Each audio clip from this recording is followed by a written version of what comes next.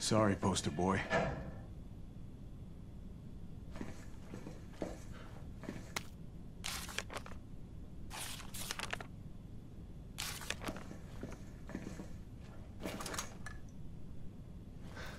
Somebody didn't have time to put his blues on.